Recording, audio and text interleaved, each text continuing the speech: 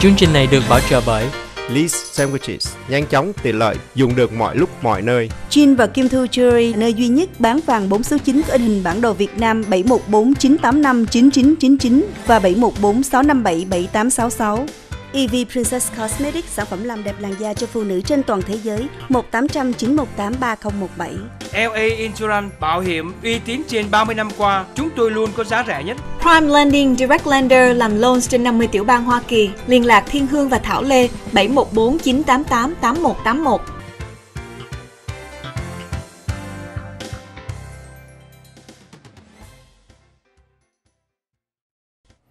Kính thưa quý vị, nếu chúng ta nói đến trí nhớ và những cái gì mà tiềm ẩn ở trong cái đầu óc của mình, người mà có thể nói nhớ lâu nhất, kính thưa quý vị, đó là không ai ngoài vị Tổng thống thứ 45 của Hoa Kỳ, Donald Trump. Ông ta nhớ dài đến cái độ ông vẫn còn nhớ. Liệu ông còn nghĩ rằng là Tổng thống Barack Obama sinh tại đâu nè? Không, không à, xin lỗi xin lỗi chị. Yeah, it's okay. Em em thấy ông tổng thống Trump rất hay.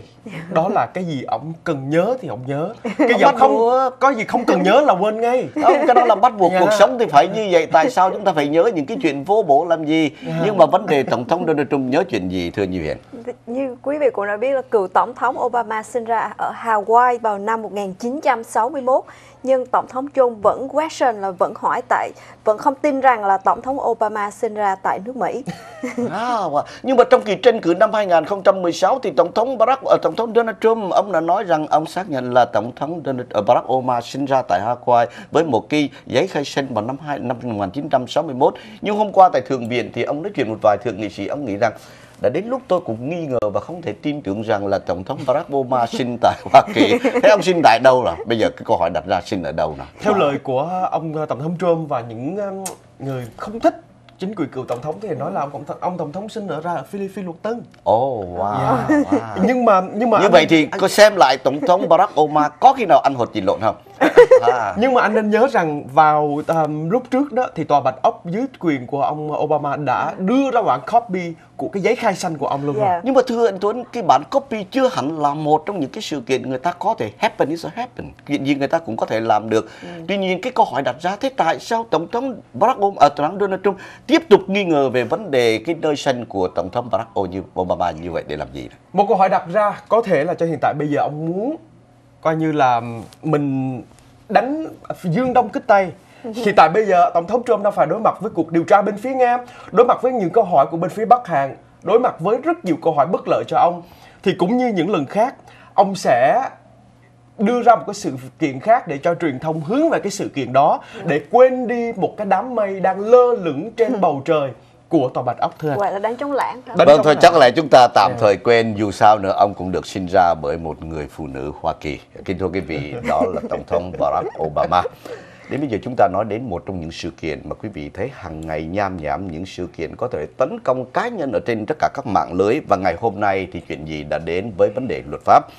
Tòa án tối cao tất nhiên là Supreme Court sẽ nghe một trong những trường hợp chính liên quan đến sự riêng tư trong cái thời đại kỹ thuật số này vào thứ tư và sẽ phải vật lộn với cái cách áp dụng và quy tắc pháp luật đã được thiết lập để thay đổi ngành công nghệ này. Anh Tuấn là một người theo dõi cái ngành công nghệ này rất nhiều. Thì tối cao pháp viện sẽ nghe và sẽ làm gì khi tất cả những cái người mà có thể nói sinh trưởng, học hành và lớn lên với cái kinh nghiệm của họ không có gắn liền với cái kỹ thuật số này, thưa anh Tuấn. Kính thưa quý vị, tối cao pháp viện à, hiện đang à, chuẩn bị để mà xét xử một trong những cái vụ án liên quan tới thời đại kỹ thuật số.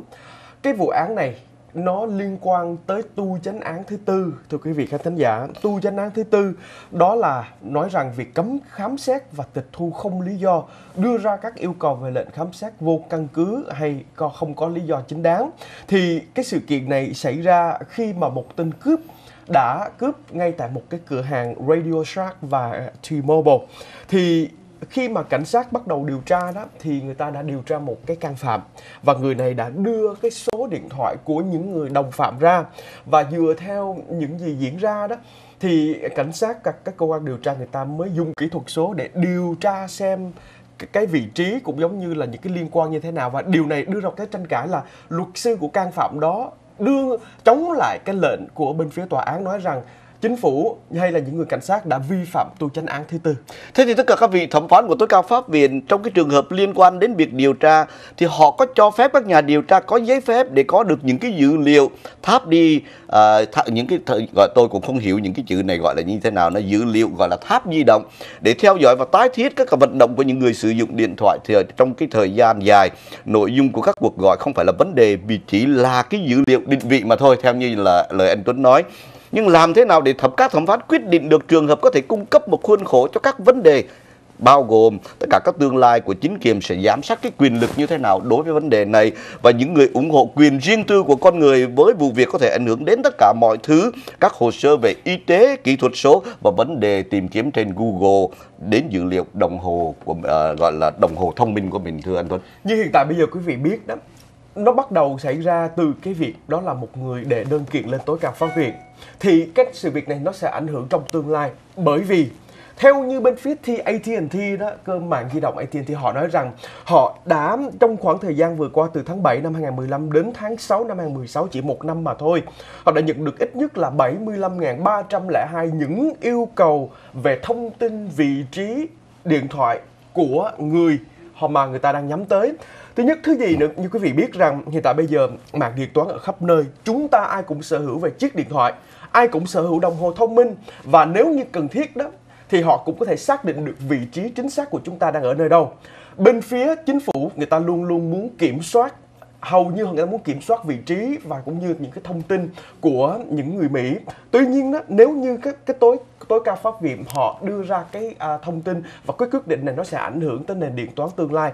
Bởi vì Nhưng Facebook, Google nếu như lệnh này được đưa ra thì họ trong tương lai bất cứ chính phủ yêu cầu cái gì họ đều cũng phải đưa ra thì bây giờ trong tóm lại là ăn thua là phải tối cao pháp viện cái đã tối cao pháp viện là cái cơ quan duy nhất cuối cùng và có cái thẩm quyền tối cao để đưa ra một cái quyết định này liệu việc đó làm đúng hay là việc đó làm sai với hiến pháp? Bởi thế cái câu hỏi đặt ra chúng tôi muốn hỏi đến quý vị là tất cả những vị thẩm phán ngay cả một vài vị thẩm phán của tối cao pháp viện đang ngoài 80 tuổi mà tất cả những cái vấn đề thông tin số tất cả những cái dữ kiện như vậy thì làm tôi không muốn nói là họ không có thể cấp nhật được. Nhưng mà tôi hơi nghi ngờ cũng giống như tổng thống Donald, Donald Trump nghi ngờ về giấy khai sinh vậy đó.